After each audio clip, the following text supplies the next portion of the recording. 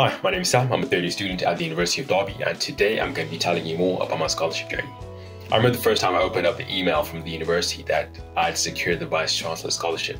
I was beyond amazed, beyond belief. I mean, at first, I went to the extreme of thinking that someone is playing a really sick joke and this had to be a prank.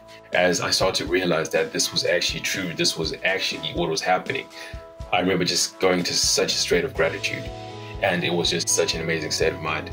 I mean, I was grateful to God that He had blessed me with this once in a lifetime opportunity.